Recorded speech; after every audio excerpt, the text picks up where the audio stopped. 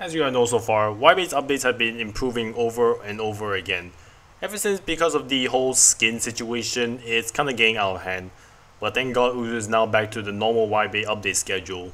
But I feel like the game's not perfect yet as there are a few things that should have been added or probably more if you count like about hundreds of them. And today, I decided to bring out top 10 things that should be added to YBA or should have been added like a long time ago. So, let's get to it, shall we? So, number one on the list, I decided to